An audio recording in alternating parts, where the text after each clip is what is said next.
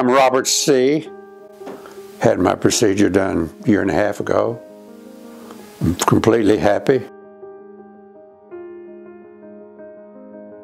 Well, when I was walking, um, I was having pain, and even more pain when I was traveling up and down stairs. And sometimes it would keep me awake at night. Very pleased with them because they not only are friendly people, but they're experts in their field. And they did a lot of follow up work with me.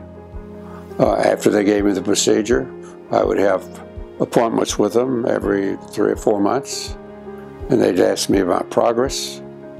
And later they took another picture of my knee, and it showed that I had some growth in the cartilage.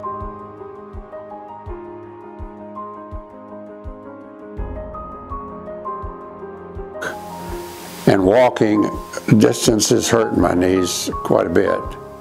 And so it, it, that was alleviated when I had the procedure. The, the uh, procedure made things lighter for me and a brighter future, I guess you'd say.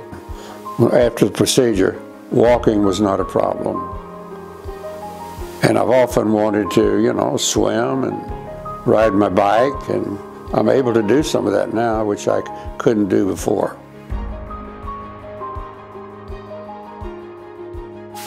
Well, I'd say, you know, it's worth a try because uh, knee replacements, many of them are very expensive and many of them are uncomfortable and some are unsuccessful. But this was uh, a good process and I've read a lot and it's uh, kind of the wave of the future, I think. And it's, it's worked for me and I'm very pleased.